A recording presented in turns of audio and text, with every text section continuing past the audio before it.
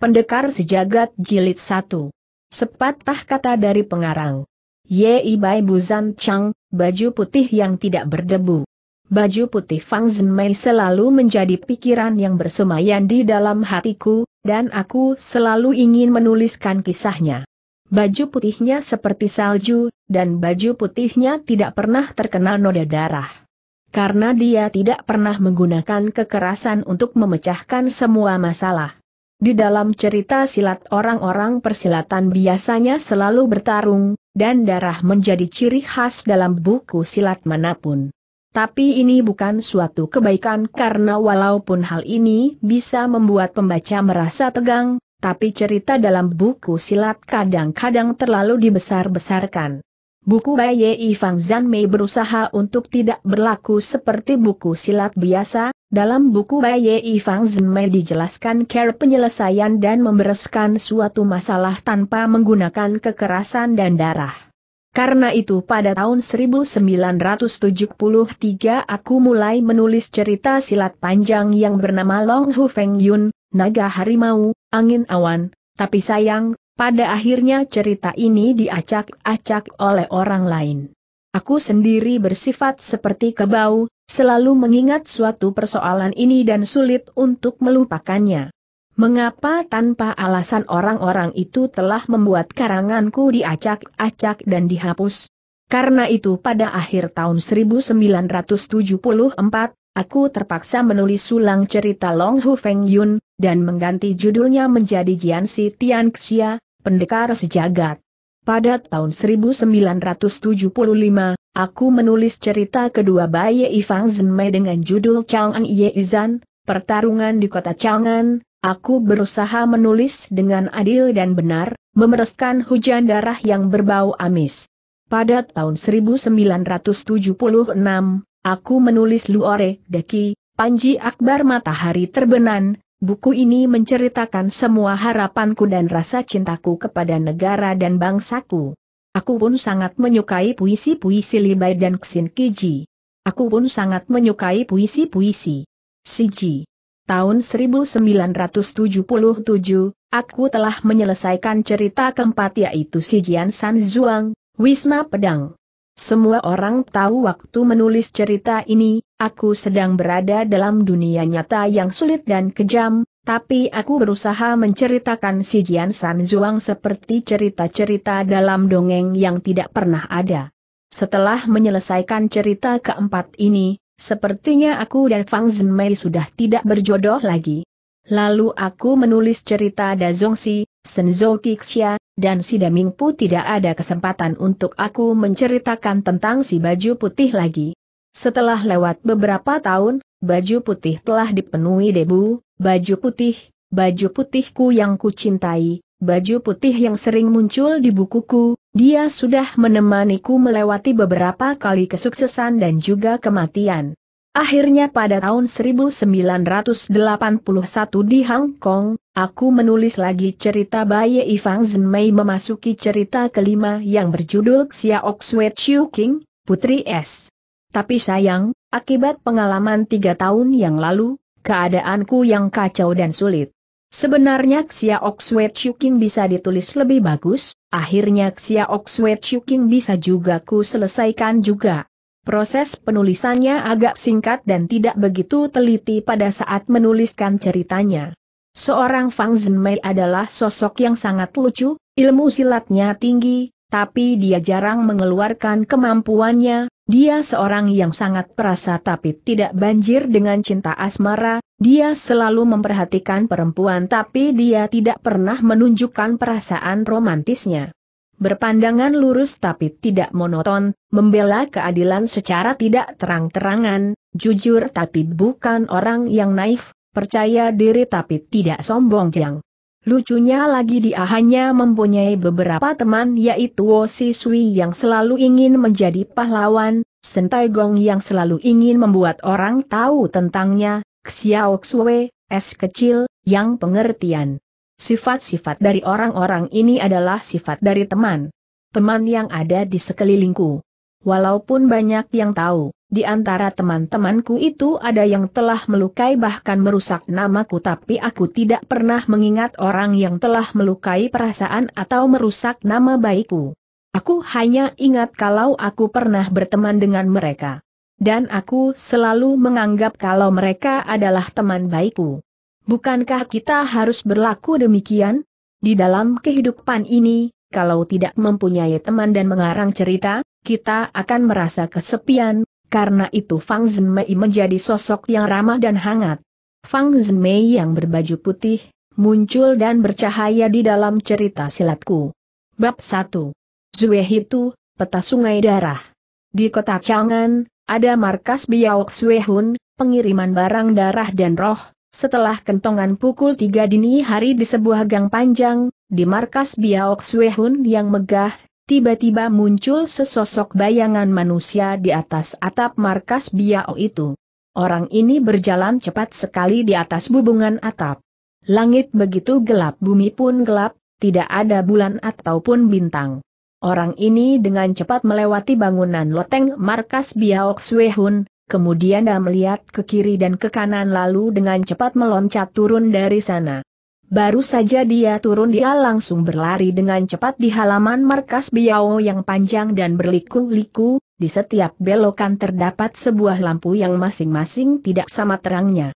Orang itu dengan cepat keluar dari halaman itu, dia berlari begitu cepat, tapi langkahnya sama sekali tidak terdengar sedikit pun, dari sini dapat diketahui bahwa ilmu meringankan tubuhnya sangat tinggi, boleh dikatakan sudah mencapai tingkat tertinggi. Begitu keluar dari halaman, segera dia memasuki ruang utama markas Biaok Suehun. Ruangan itu sangat gelap, di sana sangat luas tapi sebuah lampu pun tidak ada. Di kedua belah tembok terpasang deretan senjata, seperti barisan pengawal yang berdiri dengan gagah di sana. Orang ini merasa sedikit terkejut, dia sedang memikirkan sesuatu tiba-tiba terdengar suara senjata yang berbunyi, orang ini melihat ke sekelilingnya, ternyata di bubungan rumah sudah terdapat empat orang yang sedang meluncur turun ke bawah. Disebut empat orang sepertinya itu tidak tepat, mungkin kata-kata yang tepat adalah ada empat buah golok, empat golok yang tipis, sangat cepat dan beracun, yang dinamakan Yan Ling Dao, golok ekor walet. Yang terlihat hanya golok. Tidak terlihat adanya sosok orang, mereka menggerakkan golok mereka dari atas mengarah pada kepala orang yang datang tidak diundang itu. Orang itu menghindar dengan meloncat, tubuhnya masih berada di dalam ruangan, empat buah golok menyerangnya, tidak ada satupun yang mengenai tubuhnya, kaki orang itu belum menapak tanah, dari ruangan dalam muncul lagi empat orang yang memegang golok, mereka bergerak dengan cepat dan golok tampak berkilauan, mereka menyerang ke arah kakinya. Orang itu berteriak, jurus golok menyapu, benar-benar bagus suaranya menggetarkan ruangan itu, kakinya secara berturut. Turut menendang empat golok itu, semua terkena tendangannya langsung. Melayang jauh, ketika kakinya baru menginjak tanah, keempat orang itu karena melihat teman mereka tidak berhasil meringkus orang itu, dengan cepat mereka masuk ke dalam kegelapan, orang itu hendak bertanya, tapi senjata rahasia kembali sudah menyerangnya. Waktu itu terdengar sebuah suara yang berwibawa keluar dari kegelapan, berhenti cahaya lilin langsung menerangi ruangan itu, orang yang tidak diundang itu berdiri di tengah ruangan, sepasang tangannya, jari-jari tangannya menjepit sepuluh panah, tiga buah biau, dan tujuh buah biau berbentuk paku. Di ruangan itu terdapat meja besar, di sana sudah duduk tiga orang laki-laki, salah satunya adalah seorang tua dengan tubuh yang tinggi besar, matanya terlihat sangat bersemangat, sepertinya dia adalah seorang pesilat tangguh. Orang yang berada di sisi kirinya wajahnya dipenuhi dengan cambang, dia pun berperawakan tinggi besar, kedua kepalan tangannya bila disatukan besarnya seperti sebuah kepala orang, begitu melihatnya akan segera diketahui bahwa dia mempunyai tenaga yang besar dan juga pemberani. Orang yang berada di sisi kanannya berwajah putih dan tidak bercambang, tangannya selalu memegang kipas, tulang jarinya panjang dan terlihat sangat santai. Dari sisi ruangan itu muncul sekitar 40-50 orang, Orang tua yang berbadan tegap itu tertawa dan berkata, aku kira siapa yang datang, ternyata adalah Elang Sakti Zong Yuan, kakak Sang, kami beri hormat kepada Anda. Orang itu baru melepaskan rasa tegangnya dan dia berkata, apakah ini adalah cara kalian menyambut tamu? Orang tua itu berdiri dan berjalan mendekati orang itu, dia tertawa dan dengan akrab menepuk pundak orang itu dan bicara, kakak sang, aku minta maaf, kau sendiri tahu bahwa musuh sudah kami undang jam pukul 4 dini hari, dia ingin mengambil ksue itu, peta sungai darah, tentu saja kami harus lebih berhati-hati. Si wajah putih pun berdiri dan tertawa, maaf, pendekar sang, Meskipun markas Biao kami memiliki halaman yang berliku dan senjata golok langit dan bumi, serta ada senjata rahasia lainnya, semua ini mana bisa mencegah langkahmu. Si Elang Sakti Zong Yuan, Sang Buyun adalah seorang rase tua yang sudah berpengalaman di dunia persilatan. Dan dia adalah seorang penjahat tunggali yang terkenal, karena terus-menerus dipuji, membuat hatinya serasa melayang karena senang, dia berkata, tidak, tidak. Markas Biaok Swehun penjagaannya lumayan. Ketat. Sebenarnya kedatanganku kali ini pun tidak bisa membantu apa-apa, kakak Sen dan kakak Luo terlalu memuji. Orang tua itu adalah ketua markas Biaok Swehun, dia dijuluki telapak sakti Swehun, Luo Tianchi yang berwajah putih yang kelihatannya seperti pelajar adalah wakil ketuanya, dia dijuluki Xiulire Yue, lengan baju matahari bulan, senkisan dan laki-laki tua yang penuh dengan cambang, dia adalah ketua persilatan Mazova, dia dijuluki dengan Zanger. Jingang, dua emas baja, Zanger Jingang, diibaratkan orang yang tinggi besar dan kuat. Luo Tianchi tertawa dan berkata, kalau begitu kakak jangan merasa sungkan, silakan duduk. Tiba-tiba dari luar terdengar suara dingin yang berkata, Luo Tianchi, mengapa kau pilih kasih seseorang telah datang lagi bersamaan dengan perkataannya yang selesai, dia adalah seorang tua yang tinggi, kurus, dan kering. Luo Tianchi terpaku, segera dia mengerti apa yang dimaksud orang tua itu, ternyata dia adalah si mayat kering, kakakku, ilmu meringankan tubuhmu sangat tinggi, Tiba-tiba saja kau sudah berada di sini, tapi kami masih belum menyadari kedatanganmu. Si mayat kering, Ku Liren berkata, aku ikut dengan Lao Sang ke sini, dia sudah membantuku melewati banyak cobaan, aku belum sempat berterima kasih kepadanya.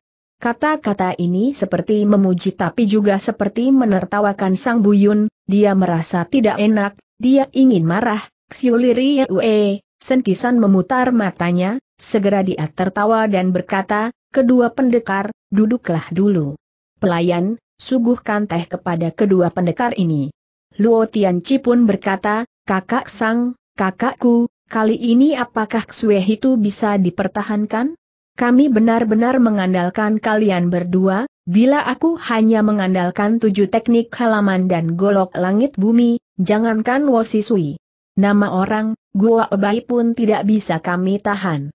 Sang Buyun mengerutkan dahinya dan bertanya, apakah pendekar Wosi Sui pun menginginkan Kswer itu?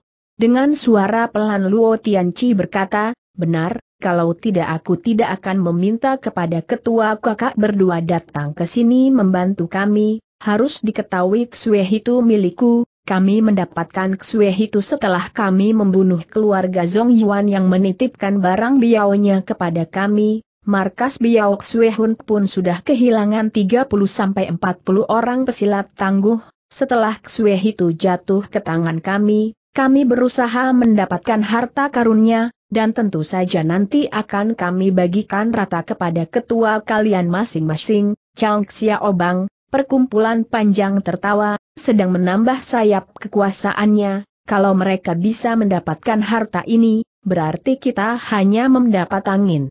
Wajah Kun Liren sangat serius, kedatangan Gua Obai saja sudah cukup merepotkan dengan ilmu pedang Kit Chong Tian Jian, tujuh macam jurus pedang, menurut orang-orang dia tidak terkalahkan, sekarang ditambah lagi dengan Wo Sisui, hal ini benar-benar membuatku menjadi sakit kepala, Wo Sisui yang selalu menganggap dirinya adalah seorang pendekar, mengapa dia pun ikut-ikutan menginginkan Ksue itu. Xiu Lire Yue, Senkisan berkata, langit tahu siapa yang pantas disebut pendekar, bila sudah mendapatkan Ksue itu, dia pasti akan menolong orang-orang miskin, di dunia ini banyak sekali orang miskin, mana bisa kita menolong mereka semua? Lebih baik berikan saja kepada kami, Chang Xia Obang, yang akan menjadi perkumpulan silat nomor satu di dunia persilatan. Telapak sakti, Luo Tianchi berkata, aku takut Wosi Sui sudah mengetahui bahwa markas Biao Xuehun bergabung dengan Chang Xia Obang, dan dia sengaja datang untuk mengacau, sebenarnya Biao yang dititipkan mereka seperti mengantarkan kambing masuk ke mulut harimau, yang aku takutkan bila kita sering melakukan pekerjaan seperti ini, maka semuanya akan diketahui oleh orang-orang dunia persilatan. Si Elang Sakti, Sang Buyun berkata, aku tidak percaya bahwa Wo Si Sui begitu kuat, kita menasehati supaya dia merampok orang yang kaya saja untuk menolong yang miskin. Si mayat kering, Ku Liren dengan wajah serius berkata, adik Luo, tadi kau mengatakan mereka sudah tahu bahwa kalian telah bersekongkol dengan Chang Xia Obang, Apakah masih ada orang lain yang menginginkan Ksue itu saat mereka mengobrol terdengar bunyi kentongan menunjukkan pukul 4 subuh. Sudah pukul 4, kalian harus bersiap dan hati-hati, kata Luo Tianchi, wajahnya terlihat tegang, dia berkata lagi, malam ini ada seseorang lagi yang akan datang. Kata Sang Buyun dengan dingin, siapa lagikah yang datang untuk mengantarkan kematiannya sendiri? Jawab Luo Tianchi, orang berbakat dari Jiangnan, Fang Zhenmei. Sang Buyun dan Kun Liren secara bersama-sama mundur dua langkah dan berseru, apa? Fang Zhenmei. Tepat pada saat itu masuklah seseorang dengan care seperti melayang ke dalam ruangan itu, sekali bergerak seperti bayangan sekejap empat orang dan empat golok yang dipegangnya ternyata sudah patah, juga keempat telinga orang itu ternyata sudah terlepas, ada luka menganga bekas sayapan pedang, darah masih terus mengalir, kelihatannya bila lawan ingin mengambil nyawa keempat orang itu, bisa dilakukan dengan mudah. Ku Liren berkata, orang yang mengantarkan kematiannya sudah datang. Luo Tianchi berteriak, siapa kalian? Harap sebutkan nama dari luar muncul seseorang mengenakan baju berwarna hijau, pedangnya panjang, sepatah demi sepatah kata dia mulai bicara, Aku datang dari King Chong San, namaku adalah Gua Obai, Luo Tianchi, kau sudah membunuh orang dan mengambil benda berharga, cepat keluarkan ksue itu, dan kemudian potong tanganmu sendiri, maka aku akan membiarkanmu hidup. Walaupun Luo Tianchi sangat berpengalaman, tapi dipelototi dengan sorot mata seperti pedang oleh pemuda itu, tidak terasa dia sudah mundur dua langkah, tanpa sadar dia memegang ksue itu yang tersimpan di balik bajunya. Tiba-tiba ada yang membentak, jangan keluarkan seorang laki-laki yang tinggi dan besar. Chang Erjain Gang, Mazaufu seperti seekor elang bergerak melayang ke arah mereka, dengan pentungan besi seberat 32 kg, dia memukul kepala Gua Obai. Si mayat kering, Ku Liren segera membentak, jangan ceroboh tapi tidak keburu, Tubuh Mazofu yang tingginya seperti gunung sudah berada di atas kepala Gua Obai. Bahu Gua Obai bergetar, kilauan pedang seperti riak air yang bergerak, Mazofu mengeluarkan suara aneh, kedua telapak tangannya sudah berlubang oleh tusukan pedang. Tapi terlihat Gua Obai tetap santai, tangannya pun tidak em memegang pedang. Si mayat kering, Ku Liren berteriak, jurus cakar mayat yang sudah dilatihnya selama 40 tahun, mulai dikeluarkan, jurus itu seperti bayangan cakar, bayangan tangan sepertinya mengarah kepada Gua Obai. Sang Buyun berkata kepada Luo Tianchi, ilmu silat bocah itu sangat tinggi, aku akan membantu untuk membunuhnya. Luo Tianchi pun sebenarnya merasa jengkel, ketua pelatih kantor Biao tidak bisa menahan serangan dari seorang pemuda yang usianya pun belum mencapai 20 tahun, dia merasa malu dan juga sedih. Sang Buyun segera maju, dengan jurus cakar elangnya dia memasuki arena pertarungan. Harus diketahui bahwa mayat kering dan elang sakti adalah dua dari lima tetua bendera hitam di Chang Obang, ilmu silat mereka. Sangat tinggi, bila mereka bergabung melawan musuh, sepertinya pesilat tangguh mana pun akan sulit untuk bertahan. Tapi setelah mereka berdua bertemu dengan Gua Obai, mereka sama sekali tidak bisa berbuat banyak, begitu bahu Gua Obai bergoyang, Segera cahaya pedang tampak berkilauan, mereka berdua berusaha bertahan, tetapi Gua Obai pun tidak gampang menahan serangan dari mereka berdua, karena itu pula maka mereka bertiga terus bertarung terus dengan sengit. Tiba-tiba di luar ada yang tertawa dan berkata, baiklah, aku juga akan ikut bergabung dengan kalian. Luo Tianchi sangat terkejut dan dia berteriak, cepat halangi dia dari pintu. Sekitar 30-40 guru biao sudah berlari ke depan pintu, tapi seseorang yang mengenakan baju berwarna hitam tetap bisa masuk ke dalam ruangan, semua yang menghalangi langkahnya berhasil dipukul hingga roboh. Begitu banyak orang yang menyerangnya tapi dalam waktu singkat sudah banyak yang terluka atau bahkan roboh. Terdengar orang itu berkata lagi, aku akan membantumu. Sang Buyun marah, Ilmu cakar elangnya bergerak mulai menyerang dari atas ke bawah, tiba-tiba dia melihat sepasang metu yang bersinar dari orang itu. Sebuah pukulannya membuat sang buyun roboh, mungkin tidak akan bisa bangun dalam waktu tiga jam. Gua Obai melihat ada orang yang datang membantunya, dia marah dan berkata, tidak perlu membantuku. Tapi si baju hitam sudah memukul sang buyun hingga jatuh terkapar, dia segera menyerang si baju hitam dengan pedang, dalam suasana yang serba kacau itu, si baju hitam masih bisa menghindar, sambil menahan serangan dia berteriak, baiklah, aku berniat untuk membantumu tapi kau membalasnya dengan care seperti ini, kalau saja kau bukan orang baik kau sudah kupukul. Dia mengeluarkan tangan untuk memukul, Ku Liren yang akan melarikan diri, sudah tidak dapat menghindari serangannya, kemudian terdengar suara BUK, dia sudah jatuh terlentang. Gua obat tampak lebih marah lagi, segera dia menyerang orang itu dengan beberapa jurus pedang, tapi si baju hitam itu sudah berada di dalam ruangan. Luo Tianchi melihat orang yang datang begitu ganas, dia merasa terkejut dan berkata, apakah dia adalah pendekar Wo Siswi? Dia mendengar jawaban, benar segera sepasang tangannya sudah tertotok dan ksue itu yang tersimpan di balik bajunya berhasil diambil oleh orang itu, Luo Tianchi pun terjatuh. Gua Obai berteriak, Wo Siswi, jangan pergi. Wosi Sui dengan jurus menyapu, dia menyapu sengkisan yang masih terpaku karena terkejut, kemudian dia berbalik ke arah Gua Obai dan berkata, malam ini aku tidak mempunyai waktu untuk mengobrol, aku harus mengembalikan Ksue itu kepada keluarga Zong Yuan. Gua Obai marah dan mengejarnya, tapi karena sengkisan yang disapu oleh orang berbaju hitam sehingga terjatuh ke arahnya, maka tangannya yang memegang kipas dengan cepat menotok Gua Obai.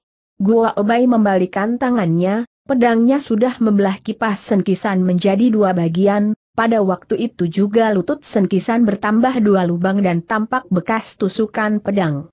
Dia jatuh dengan posisi berlutut. Gua Obai masih berniat untuk mengejar Wosisui, ternyata dia sudah menghilang. Wosi Sui sudah meloncat ke atas bubungan atap dan berlari, angin berhembus dengan dingin, angin subuh membuat orang merasa dingin. Dengan tersenyum Wosi Sui mengeluarkan ksue itu dari balik bajunya, begitu melihat, dia langsung terkejut karena ksue itu yang dirampasnya hanya berupa gulungan kertas putih kosong dan tidak ada gambar petanya, di atas kertas itu tertulis. Ksue itu Ksue itu akan ku kembalikan kepada keluarga Zong Yuan. Chuan hanya mendapatkan rasa lelah. Chen Mei yang berdosa memberitahukan. Yang bertanda tangan di bawah adalah si baju putih Jiangnan, Fang Chen Mei. Wosi Sui segera menggulung kertas itu dan dia menghela nafas panjang, baju hitamnya tertiup angin tampak berkibar di atas atap. Bulan yang bulat dengan dia melewati kepalanya. Bab 2 Wisma Sijian Pedang Sakti Swehi. Salah satu dari tiga tempat terkenal di dunia persilatan adalah Wisma Sijian, Wisma menguji pedang. Wisma Sijian adalah sebuah tempat yang tenang di dunia persilatan, tanah seluas 100 km persegi, terdapat 19 rumah mewah, 37 rumah biasa, masih ada 5 kolam, dan 11 halaman panjang. Di dalam wisma suasananya terasa sangat tenang, banyak pesilat tangguh setahun sekali selalu ingin tinggal di sini selama beberapa hari untuk melepaskan rasa lelah. Pemilik Wisma Sijian sangat senang melayani tamu-tamunya, ketua Wisma Sijian bernama Situ kedua, sekarang dia sudah berusia 67 tahun, pada saat usianya baru tiga tahun ayahnya sudah meninggal dunia, ketika umur lima tahun ibunya menyusul ayahnya meninggalkannya, pada umur tujuh tahun ke sebelas orang kakaknya meninggal karena dibunuh oleh musuh, dan hanya tinggal dia sebatang kera yang masih hidup di dunia ini, selama 30 tahun dia membangun Wisma Sijian, dengan empat jurus pedang Kswehi, pedang sungai darah, dia telah bisa mengalahkan semua pesilat tangguh, akhirnya dia dijuluki pesilat pedang nomor satu di dunia, tapi dia membalas musuhnya dengan kebaikan. Membuat musuh yang pernah membunuh kakak-kakaknya, menggantungkan golok yang biasa mereka gunakan untuk membunuh orang dan berubah menjadi orang baik. Dia selalu tinggal di Wisma Sijian untuk membela kebenaran dan membuat dunia persilatan menjadi tenang dan aman.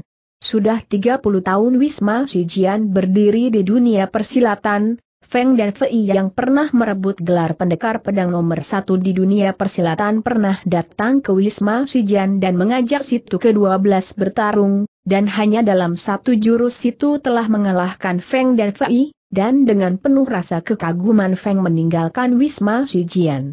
Kemudian gurunya Feng dan Fei yang sudah berpengalaman 30 tahun, merupakan pendiri dua pedang Jiandao karena tidak bisa menerima perlakuan situ ke-12, dia pun pergi ke Wisma Sujian dan mengajak situ ke-12 bertarung, tapi dia pun hanya bisa menerima satu jurus serangan dari situ ke-12, memasuki jurus kedua sepasang pedangnya sudah patah menjadi dua, dia menerima kekalahan total dan dengan lesu kembali ke rumahnya. Semenjak itu situ ke-12 jarang bertarung lagi, hingga 20 tahun kemudian muncul seorang gila yang dijuluki Iblis Jian, dia bernama Ni King Feng.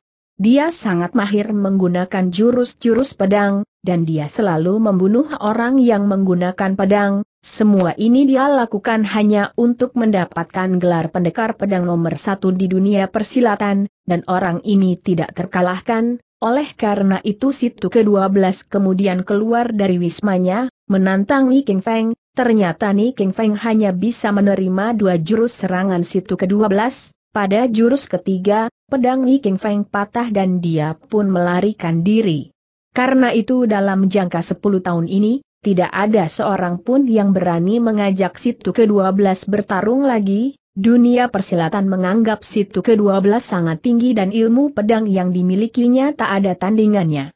Tapi situ ke-12 tidak ingin menerima pujian ini, meskipun dia sangat percaya diri dengan ilmu pedang yang dimilikinya. Situ 12 sangat menyayangi pedangnya, pedang yang membuatnya terkenal adalah pedang dengan panjang kurang dari satu meter, pedangnya disebut dengan pedang sakti Swehi. Yang membuat orang-orang menjadi kaget adalah karena sekarang ini pedang Swehi tiba-tiba saja lenyap. Ketika pedang sakti Swehi lenyap, kekuatan dunia persilatan pada waktu ini ada tiga yang menonjol yaitu Chang Xiaobang, Wisma Sijian, dan kantor Biao Feng Yun, menjadi kalut dengan kabar menghilangnya pedang sakti di Wisma Sijian. Jumlah orang yang berada di ruang tamu ada tujuh orang.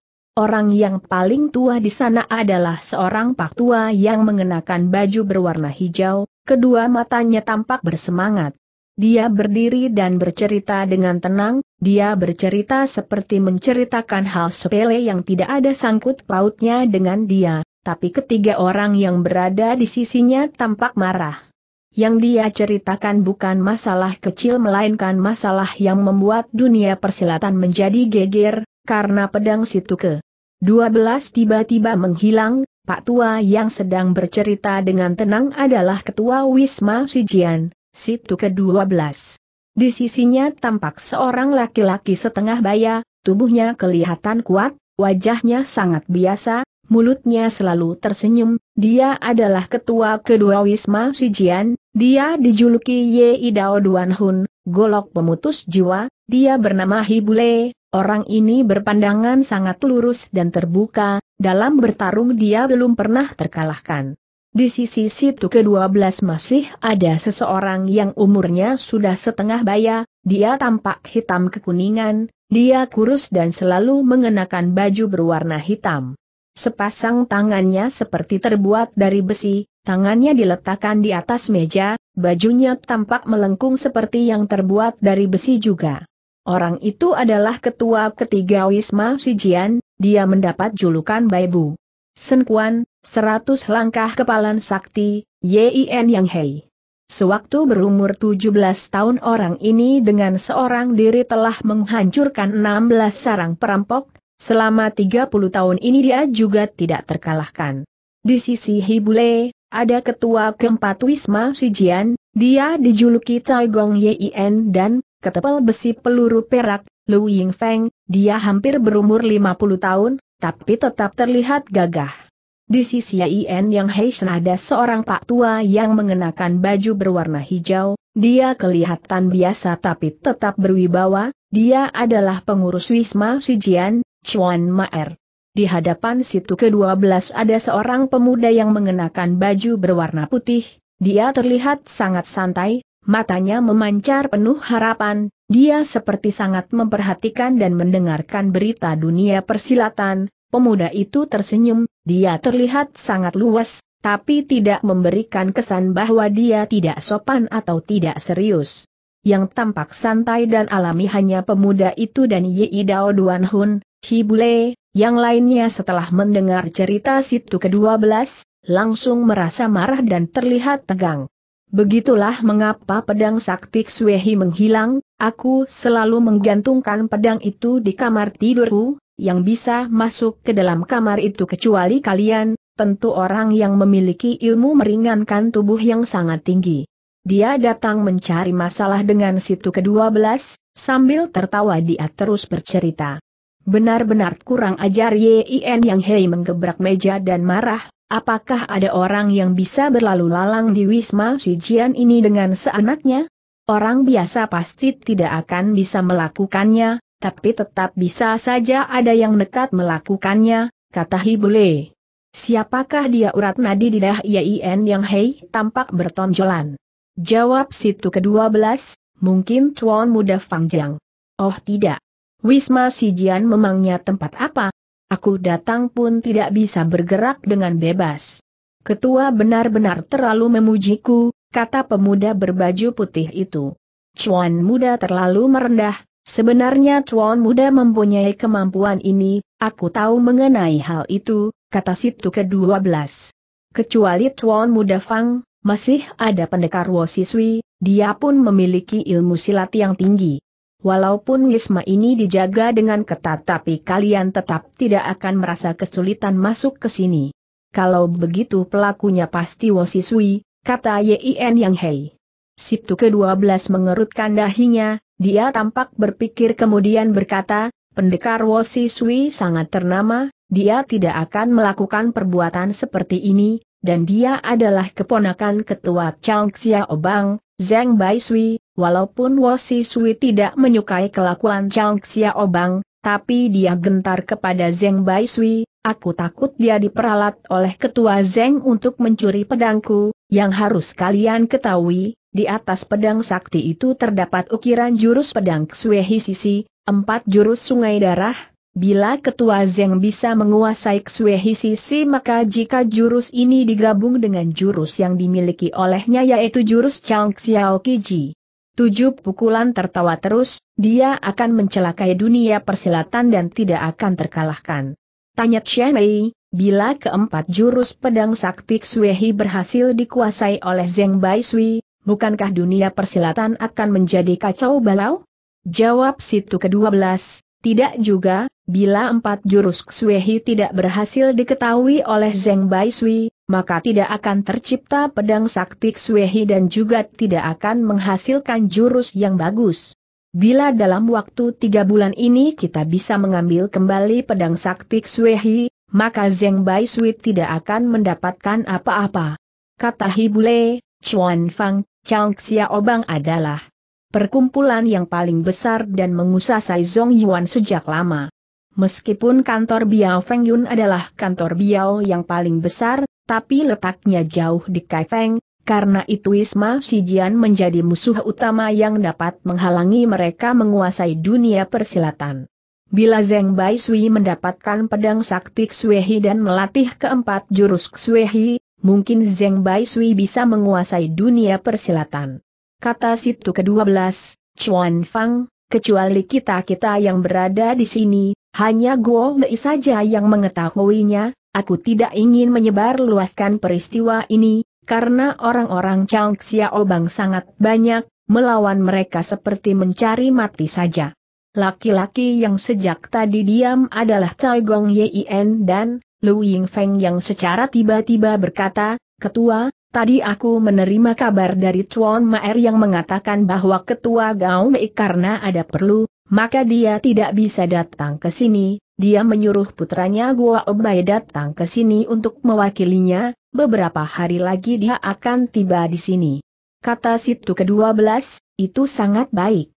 Demi kebaikan dunia persilatan, aku akan berusaha dengan sekuat tenaga, kata Fang Zhenmei, lalu dia melanjutkan lagi, kali ini ketua telah memanggilku, asal aku bisa membantu, aku pasti akan membantu, ketua hanya tinggal memberikan petunjuk.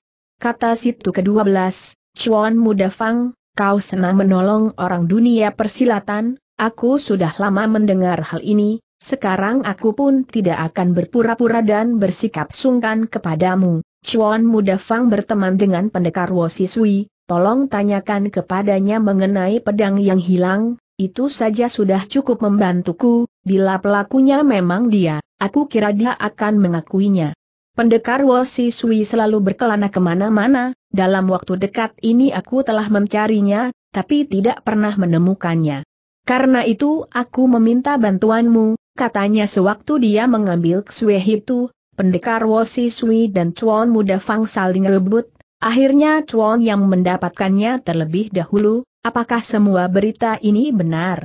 Fang Zhenmei tertawa dan menjawab, kemarin kami bertemu secara kebetulan, Bila aku tahu Wo Si Sui akan turun tangan mengenai Ksue itu, aku tidak menghalanginya, sebenarnya kami sudah lama saling mengagumi, tapi kami belum pernah saling bertatap muka, tapi titipan dari ketua akan kulaksanakan, harap ketua bisa menjadi tenang. Kata Yin Yang Hai, Chang Xia Obang memang seperti itu, bersikap sok jago, apakah kita akan membiarkannya begitu saja? Jawab situ ke-12, Pastinya tidak akan seperti itu, kita tidak bisa membuktikan siapa pelakunya, kita juga tidak bisa membuktikan bahwa Chang Xiaobang lah yang melakukan semua ini, kita tidak boleh sembarangan menuduh, aku akan mengajak ketua Zeng berbicara.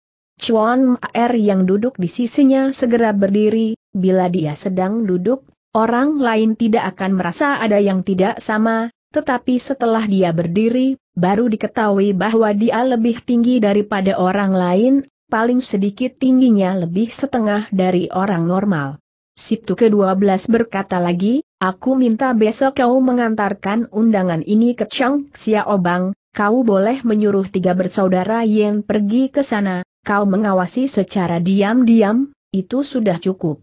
Dengan sikap hormat ketua MR menyahut, kemudian dia membalikan kepada melihat Fang Zhenmei. Chuan muda Fang, aku pamit dulu. Fang Zhenmei dengan terburu-buru berdiri dan berkata, ilmu Chuan sangat hebat, berjalan 1.5 meter sampai 3.5 meter di atas permukaan tanah masih bisa membunuh orang, benar-benar ilmu yang hebat. Ternyata ilmu silat Tuan Ma memang yang paling lihai adalah melayang 1.5 meter dari permukaan tanah, Bila Chuan Ma berjalan dia tidak biasa menapak di atas tanah tapi melayang di atas permukaan tanah berjarak satu titik limaan. Begitu dia meninggalkan rapat itu dia bergerak seperti air, meloncat setinggi satu titik lima meter dan meluncur. Keluar dari ruangan itu. kemudian turun dan kakinya meloncat lagi, dia seperti sebuah panah yang meluncur, dan sosoknya pun tidak terlihat jelas. Kata Fang Zhenmei, benar-benar ilmu meringankan tubuh yang sangat tinggi. Situ ke-12 berkata, Chuan Muda Fang benar-benar orang yang banyak pengetahuan, tapi tidak banyak menggembar-gemborkan keluar. Chuan Fang, aku mengundangmu menginap semalam di sini dan aku ingin mengobrol denganmu, bagaimana? Jawab Fang Zhenmei sambil tertawa, aku pun bermaksud seperti itu. Seorang tua dan seorang muda, berjalan dengan perlahan melewati hutan bambu yang berwarna hijau, dalam kabut yang tipis seperti sebuah lukisan pemandangan yang indah. Situ ke-12 mengenakan baju berwarna hijau sedangkan Fang Zhenmei mengenakan baju berwarna putih, dengan pelan mereka berjalan bersama. Fang Zhenmei menghela nafas dan berkata, Wisma Sijian benar-benar wisma nomor satu, pemandangannya indah, Meskipun tidak ada yang menjaga tapi pesilat tangguh yang bisa keluar dari hutan bambu ini bisa dihitung dengan jari. Kata situ ke-12, Chuan Muda Fang terlalu memuji, semua dekorasi yang berada di wisma ini semua ditata oleh Chuan Hi, hanya dia yang bisa menata tempat seperti ini, membuat tempat ini terlihat begitu alami, tidak akan membahayakan jiwa meskipun penuh dengan perangkap.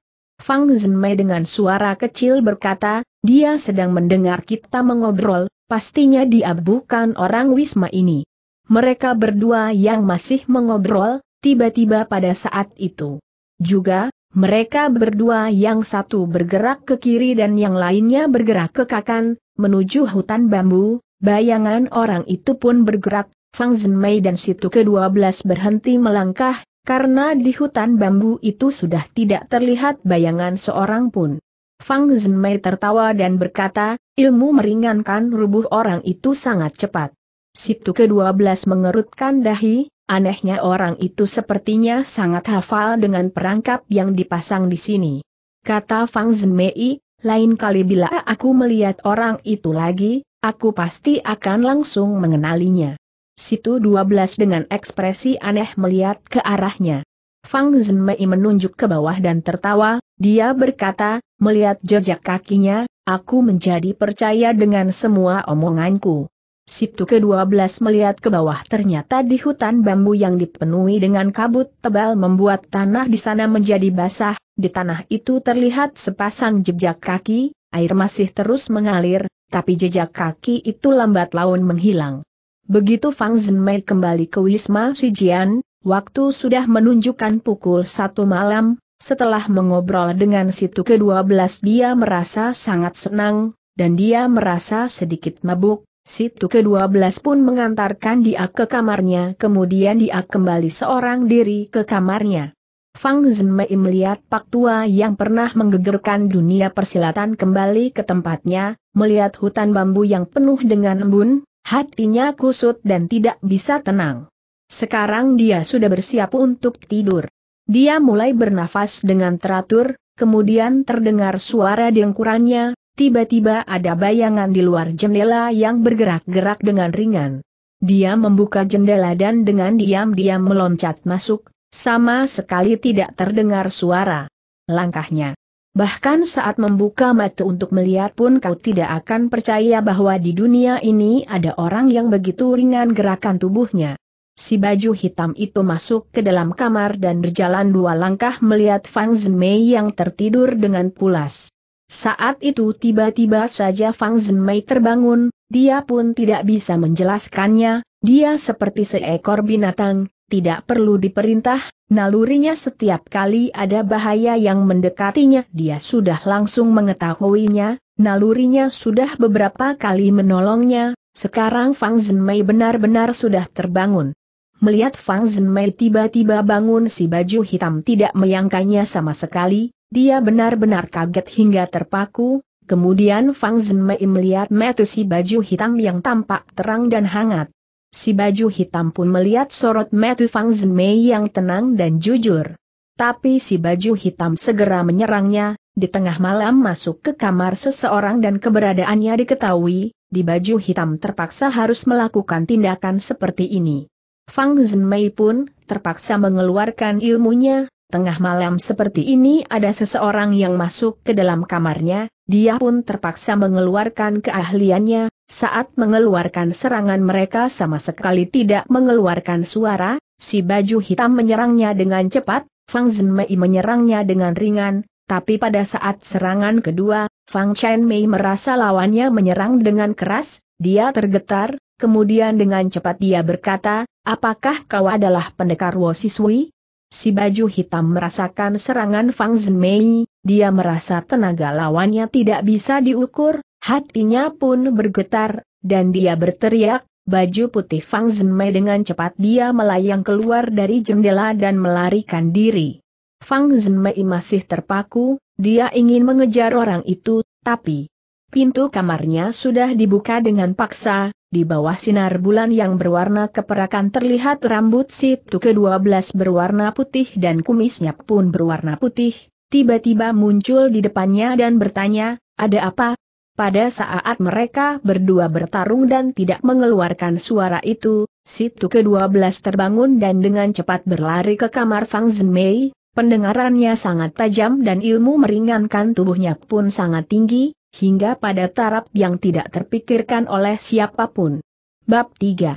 Chang Xiao Bang Long Husan berdiri dengan megah di pegunungan Long Hu, naga dan harimau. Salah dari perkumpulan terbesar yaitu Chang Xiao Bang pun berkedudukan di Gunung Long Hu. Hari itu di Gunung Long Hu tiba-tiba ada empat ekor kuda sehat yang lewat di tempat itu, Kuda-kuda itu dengan cepat berlari ke puncak Gunung Longhu.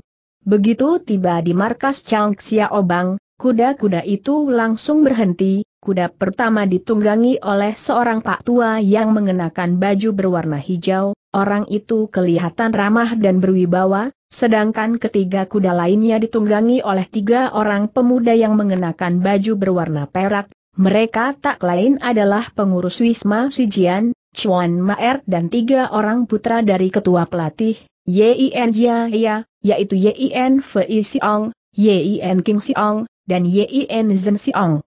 Ayah mereka diibaratkan seperti harimau, tentu saja anak-anaknya pun bukan anak anjing, mereka bertiga adalah posilat tangguh dan masih muda, mereka pun tinggal di Wisma Sujian. Kuda-kuda itu berhenti di pintu utama perkumpulan Chang Xiaobang, kata Maer kepada mereka, kalian bertiga, berikan undangan ini kepada orang Chang Xiaobang, ingat jangan membuat keributan di sini. Tiga bersaudara Yin itu dengan bersamaan menjawab, ya dan mereka pun turun dari kuda, berjalan ke depan kantor Chang Xiaobang. Para penjaga mencegat mereka, tapi begitu mengetahui apa maksud kedatangan mereka, segera mereka dibawa masuk ke dalam kantor. Tiga bersaudara Yin itu terpaku, tidak ada seorang pun yang meladeni mereka. Setelah menunggu lama baru terlihat ada seseorang dengan malas menghampiri mereka dan bertanya, kalian ada perlu apa datang kemari? Cepat bicaralah dengan malas-malasan dia duduk di sebuah kursi. Laoda, paling besar, dari ketiga pemuda itu yaitu Yin Fei Siong segera menjawab, kami datang sebagai perwakilan dari Wisma Sujian, ingin bertemu dengan Ketua Zeng. Orang itu malah tertawa. Kemudian dia berdiri, dia masih tertawa terbahak-bahak, lalu berkata, aku kira siapa yang dikirim dari Wisma Sujian, ternyata hanya tiga orang bodoh yang datang ke sini, situasi itu ke-12 benar-benar bodoh, bila kalian ingin bertemu dengan ketua kami, Terimalah dulu tiga jurus dari ketua King Ki, Panji Hijau, San Yeu Teng, bila kalian bisa menerimanya, baru kalian boleh bertemu dengan ketua kami. Ternyata di Chang Xiaobang, kecuali ketua Zheng Bai Sui dan putrinya yang bernama Zheng dan Feng, masih ada wakil ketua, si kepalan tangan besi, Ku Lei dan ketua bagian pedang kilat, Fang Zongpin. Di bawah Fang Zongpin masih terbagi lagu menjadi lima kelompok, kelompok itu antara lain, merah, kuning, biru, putih, dan hitam, di bawah kelompok lima warna ini masih ada Ketua Panji, Elang Sakti, Sang Buyun dan si mayat kering, Kiliren, adalah Ketua Panji. Di bawah Ketua Panji masih ada lima Ketua Siksiang, di bawah Ketua Siksiang, warna dan wangi, barulah para anak buah dari Chang Xiaobang, ilmu silat mereka pun sangat berbeda jauh. Di bawah ketua Chang Xiaobang masih terdapat 18 orang pesilat tangguh, ilmu silat mereka sangat liai, bila semua perkumpulan silat bersatu pun belum tentu bisa menahan serangan dari Chang Xiaobang. Yang bernama San Yeu Teng adalah salah satu dari lima Xiang Chiu, ketua dari Panji Hijau. Begitu dia mengeluarkan kata-katanya, membuat tiga bersaudara Yen merasa sangat malu. Laoda, Yen Fei Siong yang lebih berpengalaman, dia tertawa dan berkata, kami mana berani mencoba, Feng Wang Gou milik Chuan San, kait burung Feng Wang. Anda diibaratkan ke atas bisa mengait matahari dan ke bawah mengait kepala manusia, semua orang sangat kagum kepada Feng Wang Gou milik Anda, Aku hanya diperintahkan membawa surat ke Chang Xiaobang, bila ketua Zeng memang sibuk, kami harap Chuan San mau mewakili untuk menerimanya dan menyampaikannya kepada ketua Zeng. San Yeu Tang sangat senang, dengan sombong dia berkata, mana suratnya? Yin Fei Siong segera bertanya, apakah Chuan San setuju dengan permintaan kami? San Yeu Tang marah dan berkata, cerewet amat, cepat berikan kepadaku terpaksa Yin Fei Xiong memberikan surat itu dengan kedua tangannya, San Yeu Teng menerima surat itu dengan tertawa terbahak-bahak, tanpa membaca surat itu dia langsung merobeknya. Yin Fei Xiong dengan terpatah-patah berkata, kau, tanda petik. Yin Zhen Xiong orang yang paling muda di antara mereka, menjadi tidak sabar menerima perlakuan San Yeu Teng, dia berkata, mengapa kata-kata Chuan San tidak bisa dipercaya dan begitu. Seenaknya bicara? Bagaimana aku harus mengatakannya kepada ketua kami? Mengapa Chuan San menghalangi niat baik ketua kami? San Yeu Teng tertawa terbahak-bahak, tawanya membuat gelendang telinga tiga bersaudara Yin itu menjadi sakit, ketua sudah menurunkan perintah, Surat yang datang baik itu dari Wisma Sijian maupun dari kantor Biao Feng Yun tidak perlu dibaca, boleh langsung dihancurkan saat itu juga. Yin Zhen Xiong dan Yin King Xiong menjadi marah mendengar kata-kata itu, mereka siap-siap bertarung, tapi langsung dicegah oleh Yin Fei Xiong, dia melihat surat yang telah dirobek itu, tidak ada yang bisa dikatakannya lagi, tangan yang satu menghalangi langkah adik-adiknya yang ingin maju untuk bertarung, dengan suara kecil dia berkata, Sudahlah, jangan membuat keributan di sini, kami akan pulang dan meminta ampun kepada ketua, kemudian dia berkata lagi, Terima kasih Chuan San, kami pamit untuk pulang. Tiga bersaudara Yen membalikan badan dan ingin pergi dari sana, tiba-tiba San Yeu Tang membentak, diam di tempat. Secara bersamaan mereka memalingkan kepala, Yin Fei Siong bertanya, apakah masih ada yang ingin disampaikan oleh Chuan San? San Yu Teng tertawa terbahak-bahak lagi, dia berkata, Wakil ketua kami sudah menurunkan perintah, orang yang datang dari Wisma Sijian ataupun kantor Biao Feng Yun, harus memotong kakinya sendiri baru boleh meninggalkan tempat ini, dan kalian akan memotongnya sendiri atau perlu bantuanku? Tiga bersaudara Yin sangat terkejut, mereka benar-benar sangat marah, Yin Zhen Xiong sudah tidak tahan lagi, dia berseru, San Yu Teng, apakah kau mengira kami takut kepadamu? Yin King Xiong pun sangat marah dan berkata, bila kau berani, hayo ke sini dan angkat kakiku. Yin Feng Xiong segera berkata, ada yang tidak beres, cepat. Keluar dan temui Chuan Maer. Tiga bersaudara itu langsung bergerak keluar dari kantor Chang Xiaobang. Tapi San Yu Tang sudah membentak, kalian yang berada di kiri dan kanan, segera bergerak. Tangkap mereka. Tiga bersaudara itu sudah hampir mencapai pintu keluar, tapi dari bubungan atap yang tinggi turunlah tiga bayangan orang dengan membawa senjata mereka bertiga segera menyerang Yin Fei Siong, Yin King Siong, dan Yin Zhen Siong. Cahaya golok segera menutupi kepala mereka. Yin King Siong berteriak, hati-hati dan dia segera mencabut pedangnya, Dia maju untuk bertarung dengan anak buah Chang Xiaobang, Yin Zhen Xiong menggulingkan tubuhnya untuk menghindari golok yang melewati kepalanya, kemudian dia pun mencabut pedangnya dan segera bertarung dengan mereka, begitu golok hampir mengenai kepala Yin Feng Xiong, dia menendang orang yang memegang golok itu, dia segera keluar dari pintu. Begitu dia akan keluar dari pintu dia menoleh ke belakang, Ternyata Yin Zhen Xiong dan Yin King Xiong sedang bertarung dengan orang-orang Chang Xiaobang. Setelah dia melihat kedua adiknya sedang bertarung, dia pun mencabut pedang dan goloknya, dia masuk kembali ke dalam dan bertarung dengan empat orang Chang Xiaobang. Tiga bersaudara ini adalah putra-putra dari Yin Jia, mereka sangat mahir memainkan pedang dan golok, dalam waktu sekejap mereka berhasil melukai banyak orang-orang Chang Xiaobang, tapi anak buah Chang Xiaobang yang datang semakin banyak, mereka berhasil mengurung tiga bersaudara Yin ini. Yin King Xiong berhasil menahan tiga orang musuh, dia melihat ada seorang anak buah Chang Xiaobang yang melayang ke atas dan berniat menusuk Yin Zhen Xiong yang sedang sibuk bertarung dengan lima orang. Yin King Siong takut adiknya akan terkena serangan dari orang itu, dengan cepat dia meloncat dan mencegah niat orang itu, goloknya pun menusuk wajah orang itu. Begitu Yin King Siong turun kembali, darah orang itu sudah munkrat dan mengalir ke bawah, orang-orang di ruangan itu banyak yang terpana dan berhenti bertarung.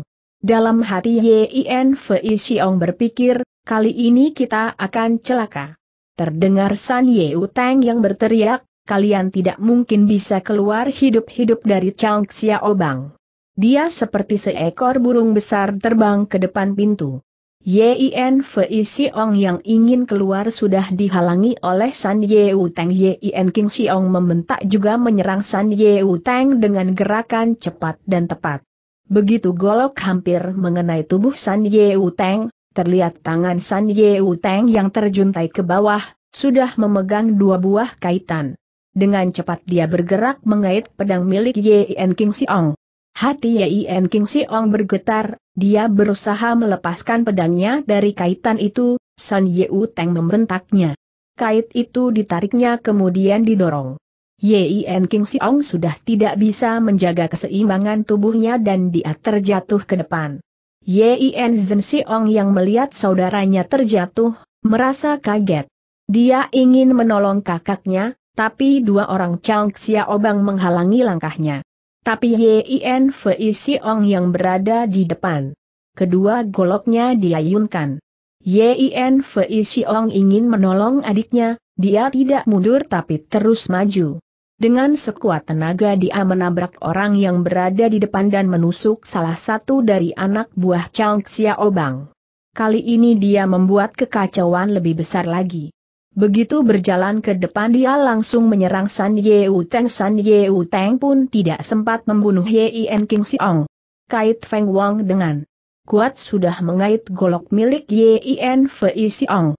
Yin King Xiong yang terjatuh beberapa saat segera membalikan tubuhnya dan menusuk ke pinggang San Yeu Teng. San Yeu Teng marah dan berkata, Baiklah, aku tidak percaya kalau aku tidak bisa mengalahkan kalian, terdengar suara senjata yang terpotong, ternyata golok Yin Fei Xiong sudah dijepit hingga putus kait di tangan kanan menahan golok Yin King Xiong dan kait di tangan kiri sudah menancap ke pundak Yin Fei Xiong.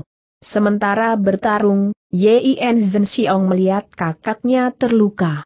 Dengan gerakan cepat dia berlari ke arah mereka dan pedangnya dengan cepat menusuk ke arah leher San Yeu Teng dengan tenang tangan kiri San Yeu Teng menyeret Yin Fei Xiong yang pundaknya penuh darah ke depan. Sekarang tubuh Yin Fei Siong melayang terbang ke arah ujung golok Yin Zhen Siong. Yin Zhen Siong menarik kembali pedangnya tapi dia tidak bisa menahan tubuh Yin Fei Siong yang terbang ke arahnya. Mereka bertabrakan dan terjatuh ke tanah. Yin King Siong yang masih berada di sana dipaksa oleh San Wu Teng melanjutkan pertarungan.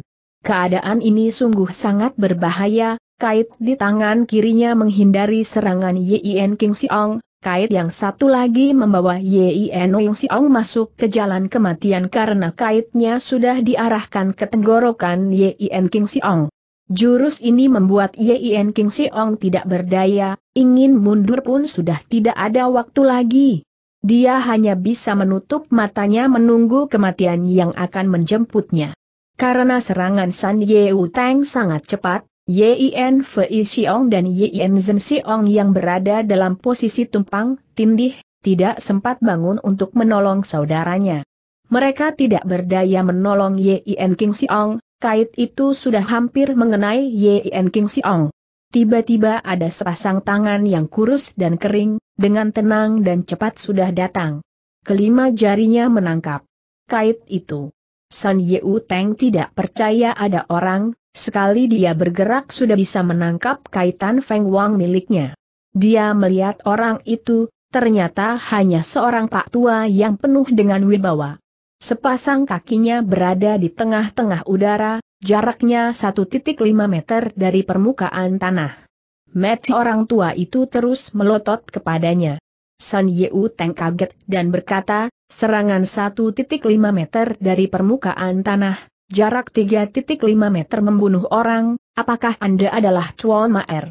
Pak tua itu dengan santai menjawab, benar, Chuan San sudah terkenal selama puluhan tahun tapi ingin membunuh anak muda yang baru tumbuh dewasa, apakah ini tidak keterlaluan? San Yeu Teng tertawa dingin dan berkata, siapa pun dia, bila masuk ke dalam kantor Chang Xia Obang harus dibunuh. Kata Chuan Maer, benarkah seperti itu? Kedatanganku ke Chang Xiaobang sudah kulaporkan kepada perkumpulan Anda. Tiga bersaudara Yen ini pun sudah memberitahukan maksud mereka dan mereka sudah dipersilakan masuk, kami tidak secara sembunyi-sembunyi menerobos masuk ke sini. Wajah San Yeu Teng memerah. Dia marah dan berkata, aku tidak mau tahu dengan alasan kalian mau itu diundang masuk atau masuk sendiri, bila dia datang dari Wisma Sijian, akan dibunuh oleh Chang Xiaobang. Kata Chuan Maer, bila Chuan San ingin menyalahkan kami, tidak usah bicara dengan alasan yang tidak-tidak. San Yeu Teng marah dan berkata, Maer, jangan sok jago di wilayah Chang Xiaobang. Terimalah jurusku tapi San Yeu Teng tidak menyerang, yang menyerang adalah dua orang yang membawa golok yang berada di belakang Maer. Punggung Tuan Maer seperti mempunyai mata, dia berteriak, pergilah kemudian tubuhnya direndahkan kemudian dengan cepat. Dia sudah melayang di atas kepala tiga orang yang ingin menyerangnya dan dia mendekati tiga bersaudara Yin. San Yeu Teng berteriak, jaga pintu. Dia pun melayang, kedua kaitnya diarahkan ke tenggorokan Maer. Begitu Chuan Maer mendekati tiga bersaudara itu, mereka masih dalam keadaan bengong. Telapak Chuan Ma sudah mendorong mereka, tenaga yang kuat telah mendorong tiga bersaudara marga YN ke arah pintu. Begitu Chuan Maer membalikan badan, sepasang kait milik San Yeu Tang sudah mengait dekat ke lehernya. Tiba-tiba Chuan Maer jongkok, San Yeu Tang hanya melihat bayangan hijau bergerak, kedua kaitnya ternyata tidak mengenai sasaran, tiba-tiba dia teringat pada jurus jarak 1.5 meter dari permukaan tanah, jarak 3, 5 meter membunuh orang, ini adalah adalah sebuah ilmu silat yang aneh, San Yeu Teng terkejut dan dia pun mundur dari sana. Sepasang kaki Maer baru saja mendarat di permukaan tanah. Dia sudah meloncat lagi seperti bintang jatuh, kesepuluh jarinya dikeluarkan dan menusuk San Yeu Teng. San Yeu Teng tidak menghindar malah balas menyerang, sepasang kaitnya dibalikan, dia menyerang tangan Tuan Maer. Sekali Tuan Maer mengeluarkan serangan, dengan tepat mencakar kedua kait itu. Karena kait itu ditarik-tarik tidak bisa lepas, San Yeu Teng menendang perut Tuan Maer. Chuan Maer mengangkat kakinya, tubuhnya tiba-tiba direndahkan kemudian dia meloncat. Kedua kakinya secara bersamaan menendang. Begitu melihat tubuh Chuan Maer direndahkan, San Yeu Teng tahu bahwa keadaan sangat berbahaya, dia segera melepaskan kedua kaitnya. Dia berusaha untuk menghindar. Setelah bertarung beberapa jurus dengan San Yeu Teng, sambil memaksa San Yeu Teng mundur, Chuan Maer melihat tiga bersaudara Yen masih bertarung dengan anak buah Chang Xiao. Dia tidak mengejar San Ye Teng, dengan cepat dia sudah meluncur ke arah pintu. Dia memasuki arena pertarungan, dengan segera banyak anak buah Chang Xiaobang yang terlempar. Dan dengan cepat Chuan Maer berkata, cepatlah pergi dari sini. Aku yang akan menahan mereka. Melihat Chuan Maer ikut bertarung, ketiga bersaudara Yin ini menjadi bertambah bersemangat. Mereka sudah hampir mencapai pintu keluar sudah ada suara seseorang yang membentak dari dalam, siapa yang berani datang ke sini dan membuat keributan segera muncul 15-16 orang mengelilingi tiga bersaudara Yin ini. Kedua telapak Chuan Ma didorong dan hal ini membuat tiga orang anak buah Chang Xiaobang terjatuh. Tiba-tiba dia merasa di atas kepala ada benda yang menghampirinya. Kedua telapak tangannya mendorong ke atas. Terdengar ada orang yang terjatuh dari atas. Dengan dingin Chuan Maer bertanya apakah Anda adalah ketua Panji Putih Chang Xiaobang, Zhou Kun? Si baju putih juga bertanya, apakah yang datang adalah pengurus Wisma Sujian, Chuan Maer. San Yeu Teng berteriak, Lao Zhou, mereka tidak ada izin masuk ke sini, tangkap saja si tua itu. Segera jurus Jiu Huan Dao ke dimainkan, dia memainkan jurus golok sembilan lingkaran. Setiap lingkaran saling beradu membuat ada angin keras berhembus. Dia berkata, Mayer, ketua Sen sudah lama ingin membunuhmu. Hari ini kau sendiri yang datang mengantarkan nyawamu, itu sangat bagus. Ternyata 20 tahun yang lalu, Chuan Maer pernah bergabung bersama dengan tiga orang temannya. Mereka menamakan dirinya adalah Empat Naga Sakti. Dengan nama ini mereka sering menolong orang yang lemah dan membasmi orang jahat. Mereka sengaja melawan Chang Xiaobang untuk membela kebenaran. Kemudian, karena ketua Chang Xiaobang Zheng Bai Sui menyogok dua orang di antara mereka dengan uang yang banyak dan membunuh salah satu orang dari mereka, Kelakuan mereka ini diketahui oleh Chuan Maer. Dia pun menjadi bertarung dengan mereka, tapi karena terluka, dia dipukul oleh mereka hingga terjatuh ke dalam jurang dan terluka parah. Secara kebetulan situ ke-12 lewat di sana dan menolongnya. Semenjak itu dia tinggal di Wisma Sijan dan menjadi pengurus untuk membalas budi kepada situ ke-12. Semenjak itu Chuan Maer tidak ingin mencari dan membunuh mereka karena dia tidak ingin Wisma Shijian bentrok dengan Chang Xiaobang. Tapi lawannya berdua selalu ingin membunuh Chuan Maer. Sekarang temannya yang bernama Sensi sudah menjadi ketua perkumpulan Panji Merah, dan mempunyai kekuasaan besar. Sesudah Chuan Maer mendengar, dia berkata, benar, kepala Maer ada di sini. Kalau bisa, ambillah. Jiu Huan Dao ke, Zhou Kun tertawa sinis. Chuan Air berjongkok kemudian dia meloncat seperti bintang jatuh. Dan dia sudah berada di sekeliling Zhou Kun. Zhou Kun tidak sempat mencabut pedangnya, dia mundur beberapa langkah. Terlihat Chuan Maer jongkok lagi. Seperti anak panah dengan cepat melesat ke arah Zhou Kun, terpaksa Zhou Kun menerima serangan ini. Chuan Air mengetahui bagaimana keadaan di Chang Xiaobang, bila urusan tidak dengan cepat dibereskan, sepertinya sudah tidak bisa melarikan diri dari sana. Karena itu dia hanya menggunakan 90% dari seluruh kemampuannya. Zhou Kun sudah terlempar kurang lebih 3.5 meter dari sana dan hampir saja dia tidak bisa berdiri lagi. Kemudian Air jongkok kembali dan meluncur. Zhou Kun terkejut, dia sudah tidak bisa menghindar lagi. Kedua telapak Maer sudah membelah ke arah Zhou Kun. Pada waktu ini, tiba-tiba ada cahaya kait yang berkilau. Kait Feng Wang dikeluarkan lagi dan mengarah pada Chuan Maer. Tapi telapak Chuan Maer dibalikan untuk menghindari kaitan itu.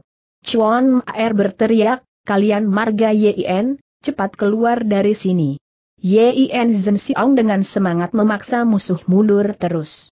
Mereka hampir sampai di depan pintu, tiba-tiba ada suara dingin yang berkata, kalian datang begitu mudah, apakah pergi dari sini pun akan seperti itu suara itu sepertinya datang dari dalam ruangan. hingga kata-kata terakhir diucapkan dia sudah berada di depan mata. Yin Zhen Xiong mengangkat kepalanya dan bisa melihat dengan jelas. Ada seseorang yang sangat aneh, mengenakan baju berwarna merah, rambutnya berwarna perak. Dia sudah berada di depan pintu. Cahaya matahari dari luar seperti tertutup olehnya. Hanya ada sedikit cahaya yang masuk melalui rambutnya yang berwarna putih. Ruangan itu menjadi gelap. Yin Zhen Xiong marah dan berseru, minggir dia menusuk pedangnya ke orang itu tapi tangannya malah dicengkram oleh musuh. Yin Zhen Xiong benar-benar kaget bukan kepalang. Dia memberontak, tapi telapak orang itu sudah menutupi tubuhnya dari atas. Yin Zhen Xiong memejamkan mata menunggu maut menjemputnya.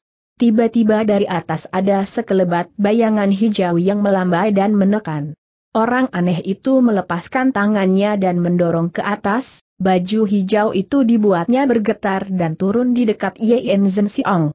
Orang aneh itu pun mundur beberapa meter, tapi dia tetap berada di depan Yen Zhen Xiong, menghalangi sinar matahari yang masuk. Yin Zhen Xiong seperti terbangun dari mimpi dan juga seperti berputar sebentar di depan pintu Dewa Kematian. Rasa kaget membuat keringat dinginnya keluar. Orang yang memakai baju hijau itu tak lain adalah Chuan Mayer, wajahnya pucat karena menahan marah. Dengan dingin dia berkata, 20 tahun kita tidak bertemu, Liu Yang Jin Gang Sou milikmu sudah sangat maju, enam telapak emas bersinar terang.